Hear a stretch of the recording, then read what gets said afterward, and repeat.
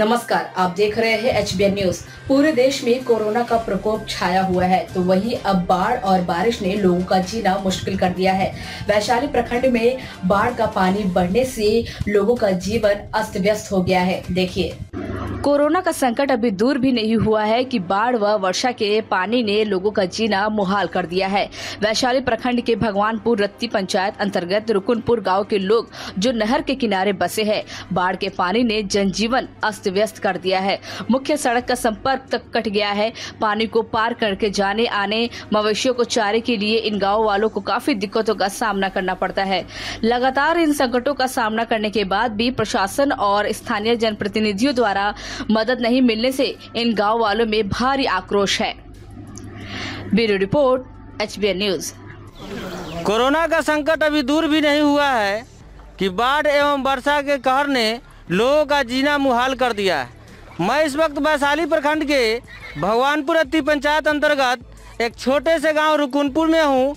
आप देख सकते हैं, यहाँ लोगों को किस हाल में है, लोगों की ज़िंदगी है वर्षा के पानी एवं बाढ़ के पानी ने यहाँ के मुख्य सड़क को बिल्कुल अवरुद्ध कर दिया है। यहाँ जीवन बसर करने वाले लगभग 40 से 50 घरों के लोगों को काफ़ी दिक्कतों का सामना करना पड़ रहा है। आइए हम उन्हीं से जानते हैं कि क्या परेशानी है इस वक्त उन लोगों की। जी बताइए क्या परेशानी है यहाँ? वर्षा से बहुत परेशानी है। जी। हम लोग के रहने खाने का भी मुश्किल हो गया। जी जी। और दूसरा क्या बतलाए? किसी ने कोई मदद किया इस वक्त? सरकार कोई मदद नहीं किया है कोई मदद नहीं किया है। स्थानीय किसी जनप्रतिनिधि ने? कोई मदद नहीं किया है। जी आप बताइए।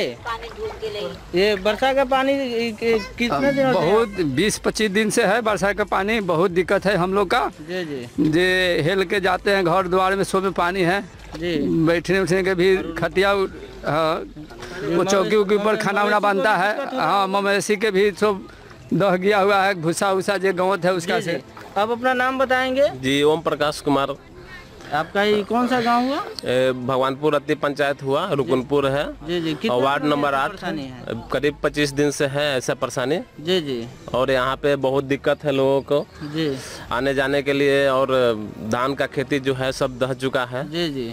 और जनप्रतिनिधि कोई भी मदद नहीं आया पहुँचाए हैं ये लोग। जी जी। ठीक है और भी जानना चाहेंगे बताइए क्या परेशानी है? आप बताइए।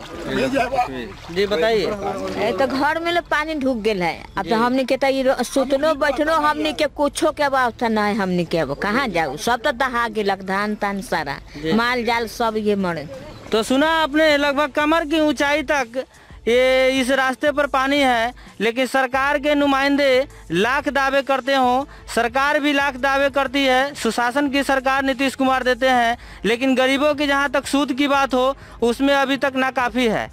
Awadhesh Kumar H B Vaishali.